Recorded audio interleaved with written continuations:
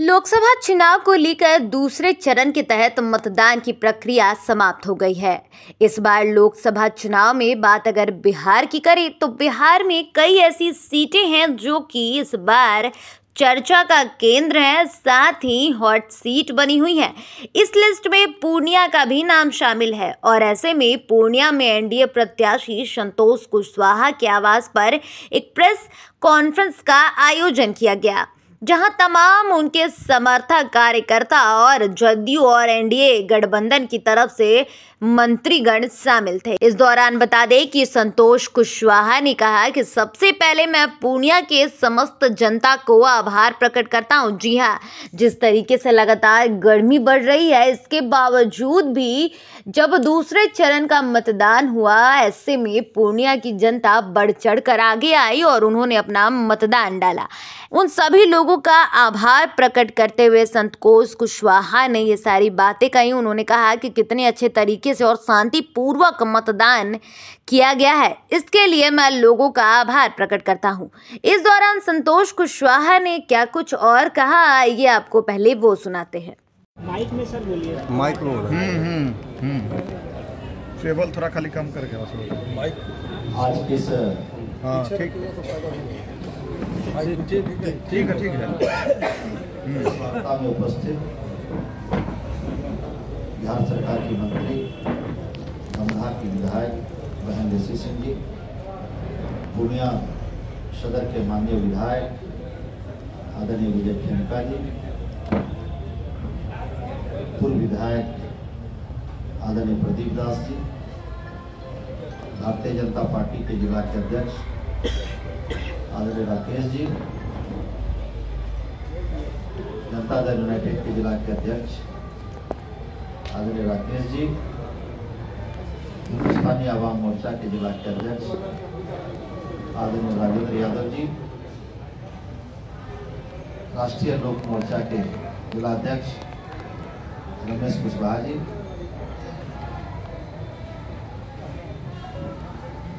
JDU के प्रदेश महासचिव अभी आशीष कुमार बब्बू जी और यहाँ उपस्थित एनडीए के सभी पदाधिकारी, सभी नेतागण,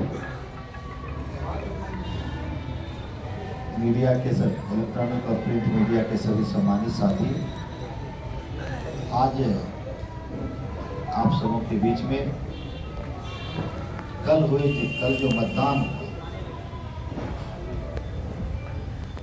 शांतिपूर्वक मतदान हुआ। तो जनता ने तय कर दिया कि धनबल और बाहुबल को दुनिया की जनता ने नकारने का काम किया। और जिस तरीके से चुनाव में सोशल मीडिया और यूट्यूब चैनल्स के माध्यम से हवा बनाने का प्रयास किया गया। जनता के सामने वो, जनता ने उसे नकारने का काम किया। और जिस तरीके से जनता का जन समर्थन एनडीए के पक्ष में मिला है निश्चित रूप से एनडीए यहाँ पे बड़े अंतर से चुनाव जीते एक प्रत्याशी ने कहा कि वायनाड से भी अधिक हॉट सीट पूर्णिया है। ज़मीन का पता नहीं और आसमान में उड़ान भरते हैं। सब पता चल जाएगा। इस चुनाव कराने में निर्वाचन आयोग, जिला प्रशासन, सबों को हम धन्यवाद करते हैं। और इस पूरे चुनाव अभियान में एनडीए के एक एक कार्यकर्ता एक एक नेता, खास करके देश के आदरणीय प्रधानमंत्री जी नरेंद्र भाई मोदी जी का। हम सबों के नेता हमारे आदरणीय बिहार के मुख्यमंत्री, पार्टी के राष्ट्रीय अध्यक्ष, आदरणीय नीतीश कुमार जी का।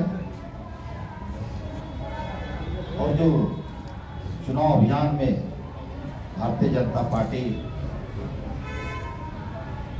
जनता दल यूनाइटेड, लोक जनशक्ति पार्टी, और हिंदुस्तानी आवाम मोर्चा जो भी नेता आए हमारे चुनाव प्रचार में बाहर से।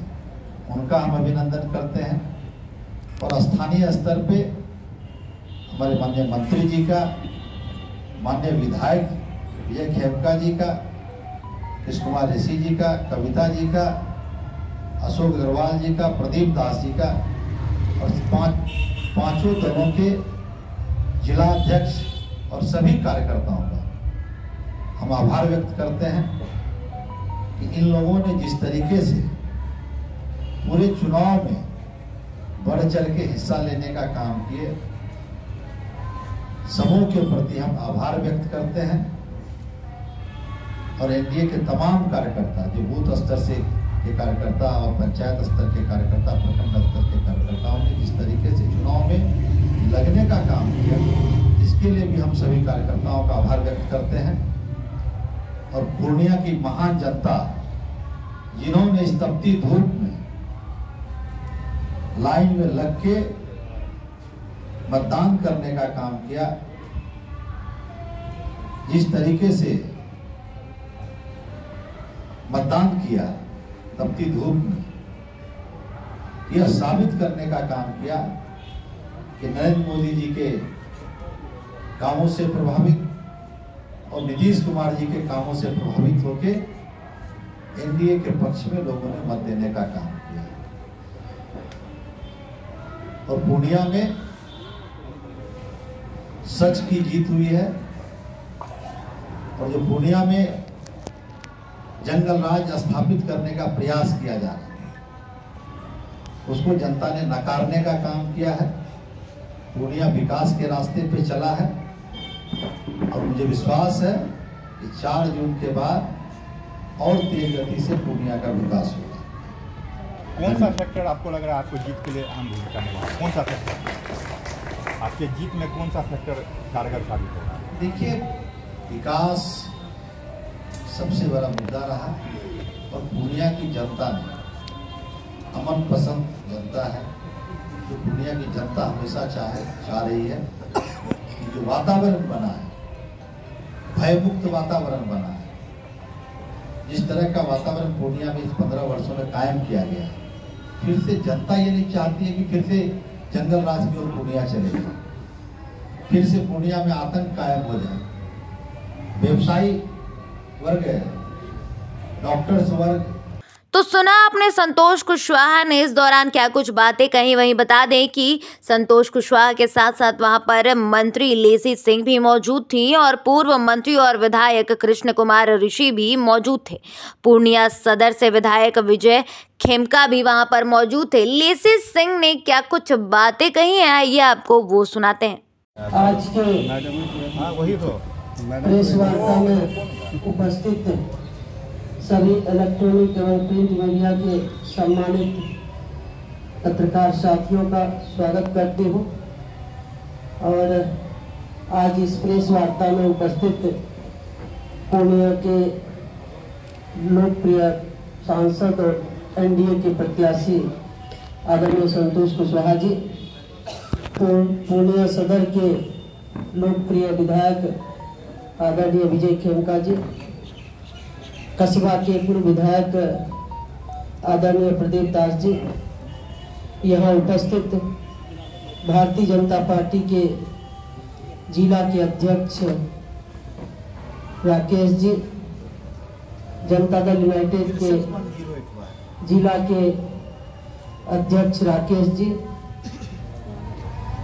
हिंदुस्तानी आवाम मोर्चा के जिला के अध्यक्ष राजेंद्र यादव जी राष्ट्रीय लोक मोर्चा के जिला के अध्यक्ष रमेश कुशवाहा जी, एवं यहाँ उपस्थित तमाम एनडीए के प्रदेश एवं जिला स्तर के सभी नेतागण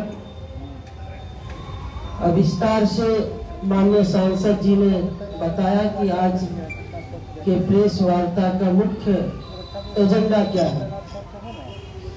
लोकतंत्र के महापर्व में कल मतदान हुआ।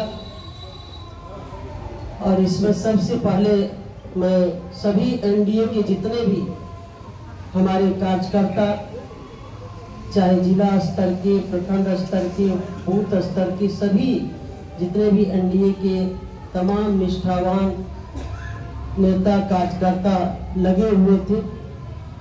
सभी को धन्यवाद देती हूँ, उनका आभार भी प्रकट करती हूँ। उन्होंने काफ़ी मेहनत किया। और यहाँ के मतदाताओं के प्रति भी जो इतनी तपती धूप में इस लोकतंत्र के महापर्व में विकास को जो पूर्णिया लोकसभा के मतदाताओं ने मोहर लगाया है, इसके लिए भी मैं सभी मतदाताओं का एनडीए की ओर से मैं अभिनंदन करती हूँ और धन्यवाद के पात्र हैं सभी मतदाता। और यहाँ जिला प्रशासन के सभी पुलिस अधीक्षक, जिला पदाधिकारी एवं जितने भी चुनावी कार्य में लगे हुए सभी कर्मी पुलिस कर्मी को भी धन्यवाद देती हूँ कि शांतिपूर्ण तरीके से चुनाव को संपन्न कराया। इसके लिए धन्यवाद के पात्र हैं जिला प्रशासन, पुलिस प्रशासन। और बहुत ही अच्छे तरीके से पूर्णिया लोकसभा में चुनाव संपन्न हुआ। और देश का ये चुनाव कल यहाँ मतदान हुआ। देश में सरकार बनाने के लिए सभी मतदाताओं ने बढ़ चढ़ कर हिस्सा लिया। ये इस बात को दर्शाता है इस लोकतंत्र के महापर्व में जो मताधिकार है, उसका सभी ने अपना प्रयोग किया और तपती धूप में आकर मतदान किया। और देश के यशस्वी प्रधानमंत्री आदरणीय नरेंद्र भाई मोदी जी को फिर से प्रधानमंत्री बनाने के लिए लोग धूप की भी परवाह नहीं किए और बड़ी बढ़ चढ़ के एनडीए के पक्ष में मतदान लोगों ने किया। और बिहार में माननीय मुख्यमंत्री नीतीश कुमार जी के नेतृत्व में जो न्याय के साथ विकास हो रहा है, उस विकास पर भी मोहर लगाने का काम यहाँ के पूर्णिया लोकसभा के मतदाताओं ने किया। और एक तरफ़ हम लोगों का विकास है। केंद्र की सरकार, माननीय प्रधानमंत्री जी और बिहार के यशस्वी मुख्यमंत्री आदरणीय नीतीश कुमार जी, दोनों ही दोनों ही सरकार का जो काम रहा, डबल इंजन की सरकार का जो काम रहा, और फिर माननीय सांसद जी ने हम सभी, एनडीए के जितने भी माननीय विधायक हैं, सभी ने जो इस लोकसभा में, इस ज़िले में काम किया उस पर लोगों ने मोहर लगाया। मैं आपके माध्यम से, मैं पूर्णिया के लोकसभा के और इस ज़िले के मतदाताओं को आश्वस्त करना चाहती हूँ कि जो पूर्णिया में विकास की गति आगे बढ़ी है, उसको और भी गति हम लोग मिल के देने का काम करेंगे। विकास पूर्णिया लोकसभा में और होगा और जो यहाँ के मतदाताओं ने भरोसा जताया है। उस भरोसा पर हम सब लोग खड़ा उतरेंगे। यही आज के दिन यहाँ के मतदाताओं को संदेश देना चाहेंगे कि जिस विश्वास के साथ एनडीए के पक्ष में मतदान किए हैं और हम सब लोग इस भरोसे पर खड़ा उतरेंगे। सभी मिलकर पूर्णिया लोकसभा का, जिला का विकास करेंगे। धन्यवाद।